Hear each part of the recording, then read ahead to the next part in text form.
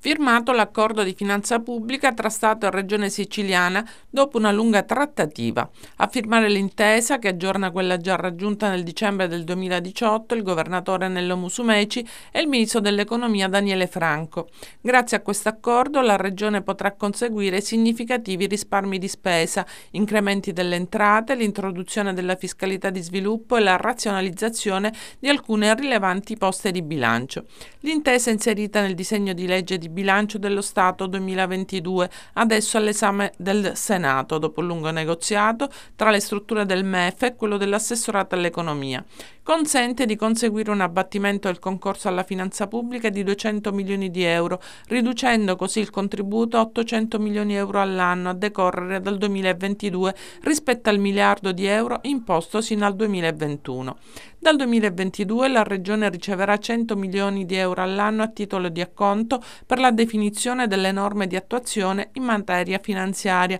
e per la compensazione degli svantaggi strutturali derivanti dalla condizione di insuralità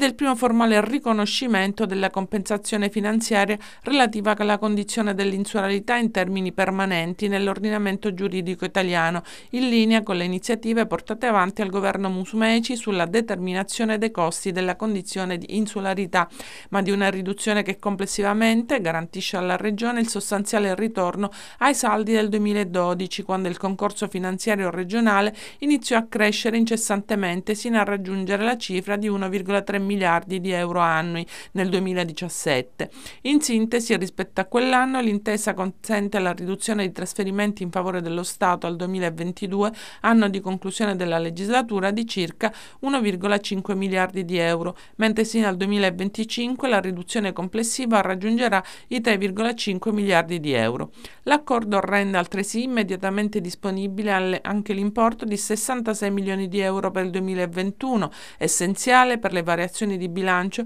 all'esame dell'ARS. Giunge poi finalmente a compimento l'obiettivo di conseguire l'attuazione della fiscalità di sviluppo al fine di favorire l'insediamento di imprese e cittadini europei ed extraeuropei nel territorio della regione che trova fondamento nello statuto regionale.